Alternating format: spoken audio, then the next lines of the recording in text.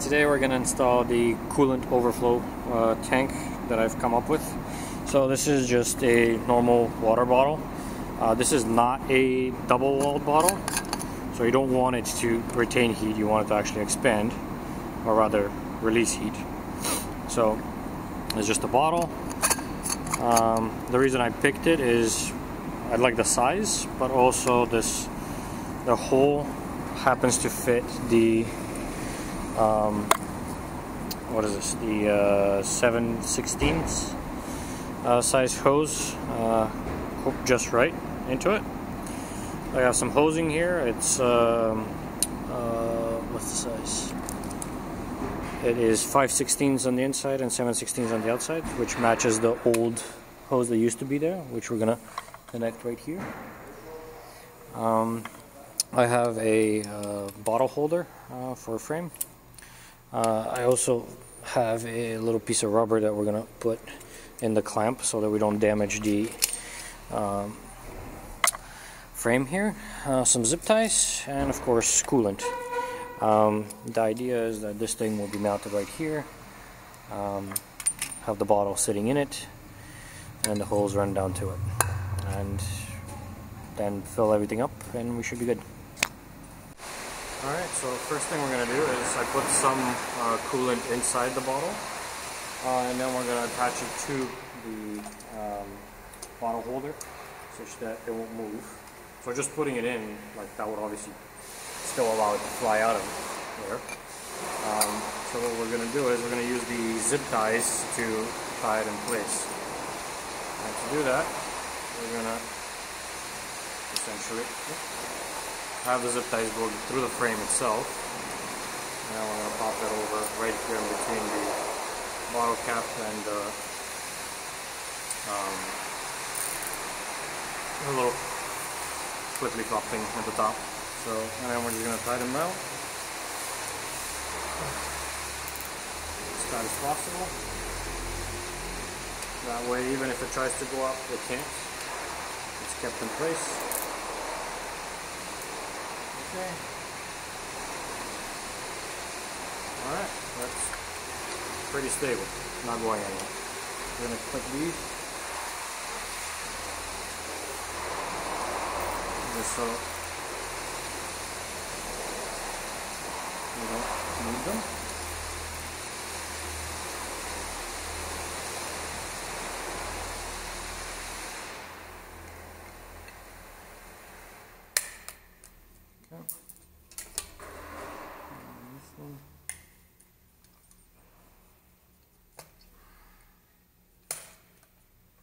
Okay, so I the ball.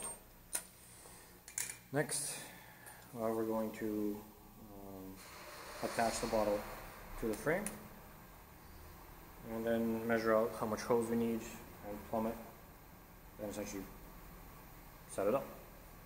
So let's get this guy attached to the frame.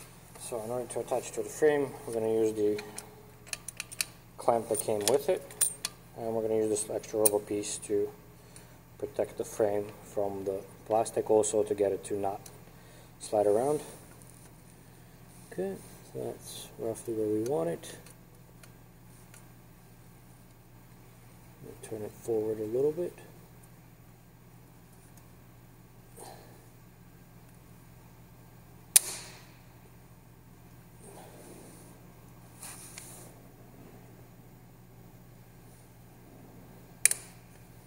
and this thing cracked.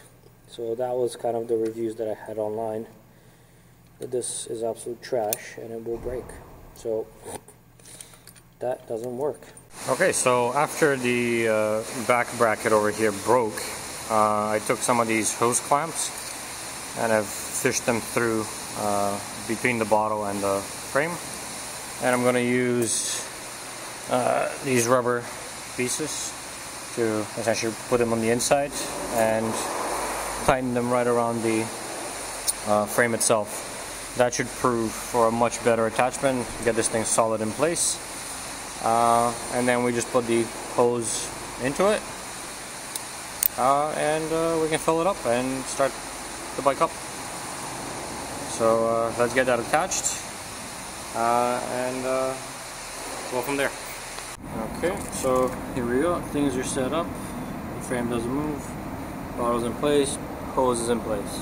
I already have some fluid in it uh, to make sure that uh, when it does overflow, there's room for it to expand, but then when it does suck back in, it actually has fluid to suck all the way back in and not suck air back in.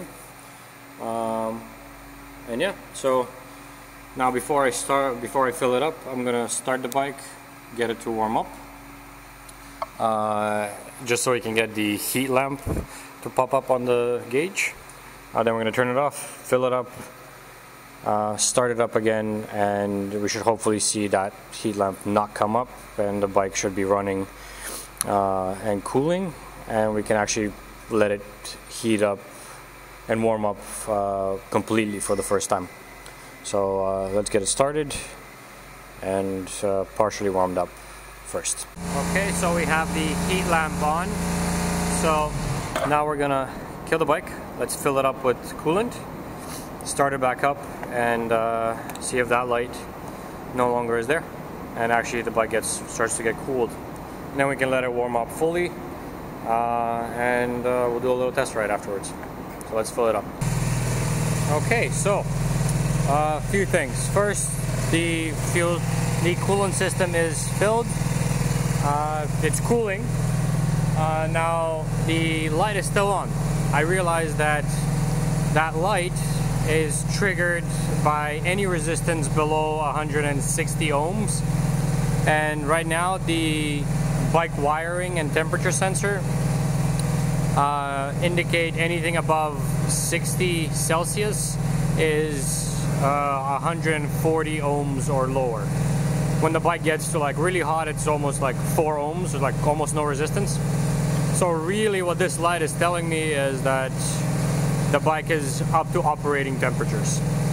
What I think I'll do is I'll wire the engine fault uh, light to that same cable with uh, a resistor on it uh, just so I know that if the uh, temperature of the bike gets way above like 240 Celsius, then I know the cooling's not working at all.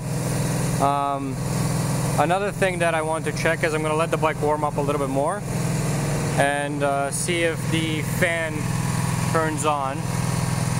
Right now it isn't on, but uh, I'll wait for it to try to turn on.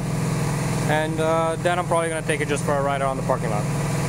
So let's uh, wait for it to warm up.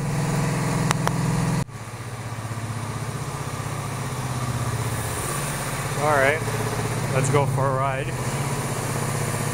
I got white smoke everywhere. I think it's from like oil that has dripped on things.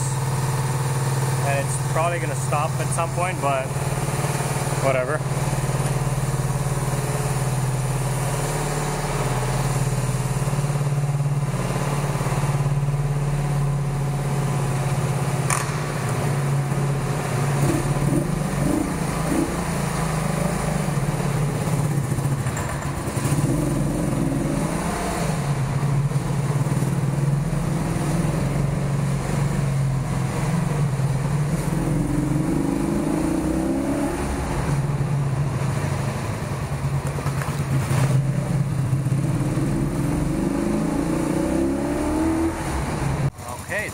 fan just turned on and now it just turned off so the bike is cooling.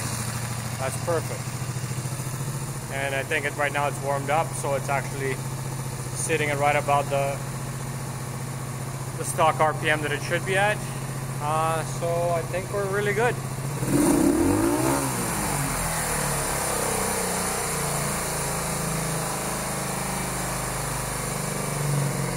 Choke is off. It, it is still smoking, but I guess we'll have to wait for that to burn off. And, uh, oh, will it, will it die?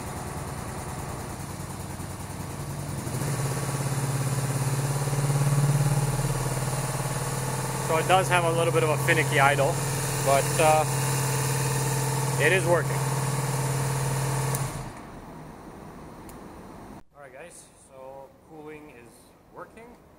Uh, we have the bike uh, in operation. Or in operational state. Uh, I do. I will continue to use that light on the speedo uh, as a sensor for, I guess, when when we're starting to reach operating temperatures. Uh, and I'll probably wire in the engine fault light to the overheating, um, but that will be down the line. For now, the bike is pretty much done. Uh, I just need to get a license plate uh, holder, put on a license plate, get a light for it, and uh, it's ready for safety. So once the season is a little bit warmer, we'll definitely uh, get that uh, safety. And uh, pretty much it's ready to ride. Um, in terms of other things that I will do on this bike, I'll probably look into uh, either reusing the old cover plates for these areas here and on the other side since not much has changed. Uh, and uh, I do want to do some adjustments in terms of the way the speedo sits. So right now it's like very far, so I'm thinking to cut these off. They're here and do a little notch so that I can mount this little adjustment button kind of under like so, like right in the center uh, and then move the entire assembly essentially down. So these holes will be moved here. So this entire thing will just move down and nicely tuck away. And uh, yeah, so at this point it's pretty much good to go for riding. I forgot to mention that uh, I bought a uh, speedometer configurator or speedometer signal configurator. Um, I'll make a video about that and how I'm going to essentially change the signal from the speed sensor through the speedometer so that the speed actually makes sense. Because um, right now, I'm roughly estimating that I'm, when I'm doing 60, uh, it shows 200. So I'll need to adjust that. And uh, that will be coming in a, a, video very soon. The product has already shipped. Uh, and yeah, so thanks for watching. Make sure to subscribe, uh, hit the little bell to get notifications when new videos become available check me out on Instagram. Uh, make sure to check out uh, uh, where I have articles uh, on uh, some of these videos as well as some of tutorials, some cruises that I do, and various other things. So yeah, thanks for watching and see you next time.